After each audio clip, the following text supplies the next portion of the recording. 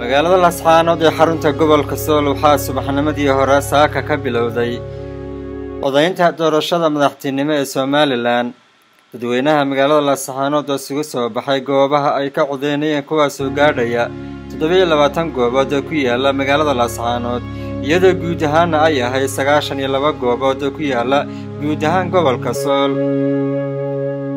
Tifiga caalamiga ee somali news t v oo booqday goobahaasi ku yaalla magaalada laascaanood iyo nawaaxigiisa ayaa waxa uu soo waraystay islamarkaana uu la kulmay dadweynihii halkaasi ka codeynayay qaar ka mid a mas'uuliyiinta iyadoo maamulka gobolka sool iyo laamaha ammaanka ay ka warbixiyeen xaaladda amni iyo jawiga uu ku socdo doorashadu.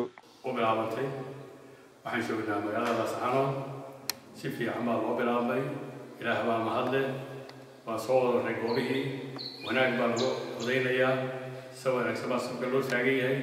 وح الله وح دوا طوكنا هاي ما تشلو فالحمد لله. إلهي نجاسية مع التاسع ما هلا وإما دم بين السوني وحمان تفرحضنا ترى نحن مش كده لو شو قرنك. إن هي أبل على تي وبحنتي وذينتي سحاب سمية ومدى غير راس على ودنا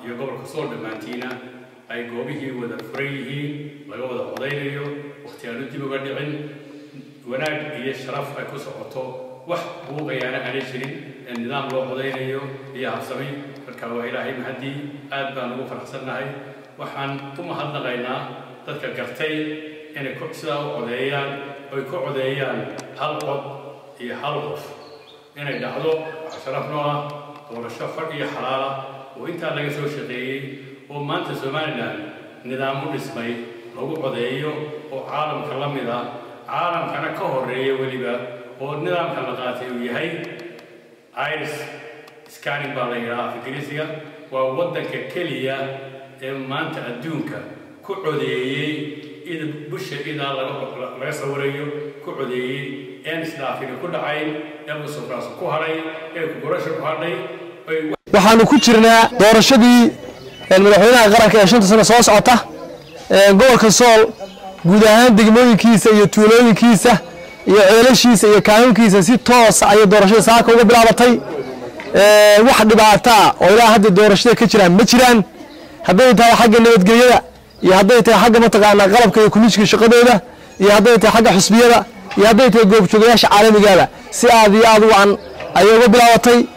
Ilaa iyo haddeer saacaddan aanu joogno oo tobankii ku dhowaadana wax ilaa haddeerto dhibaata oo la soo sheegay ma jirto waxaan aad iyo aad ugu mahad celinaya ilaahay ka sokow komishinka qaranka halkan jooga sida wacan nidaamsan ka muuqato mataqaana sheeg mas'uuliyaddu u qaabeeyey qaabkii mataqaana loogu talagalay.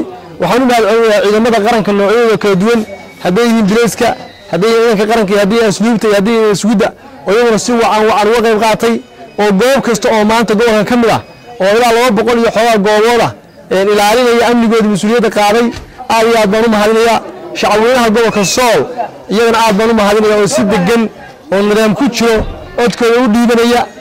Waxaan leeyahay la shaqeeya ciidamada amniga waxaan leeyahay la shaqeeya mataqaanaa shaqaalaha komishinka waxaan leeyahay qof kastaa si nabadgelya codkiisa ha u dhiibto.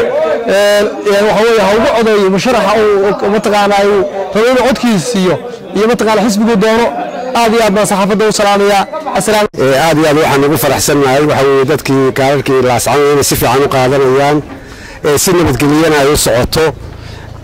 Dadkiina ay safafkii ku jiraan. Wax walba waxaa ugu fiican waxa weeye nabadgelyana doorashadii ku dhacday. Taasaana kuul weyna marka aad iyo aad waxaan ugu faraxsannahay dadkii inay kaararkii qaadanayaan.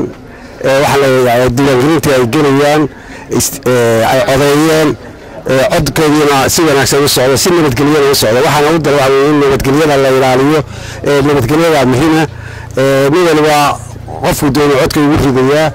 Qofna la khasbi maayo laakiin waxa weeye in nabadgelyo ayna ku dhacdaa muhiima nabadgelyadiina way socoto calaykum waraxmatullaahi wabarakaatu. Alxamdulilaahi rabbilcaalamiin maanta waxaynu u taagannahay in codka la bixiyo oo codka si nabadgelyaa ilaaha raxmaanka waxaynu weydiisanay inuu si fiican ilaahay inuu ku rido nabadgelyo leh.